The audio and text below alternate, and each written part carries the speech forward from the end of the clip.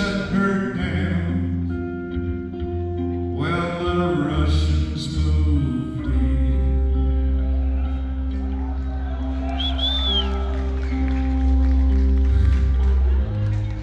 Now I'm too scared. I'm too scared.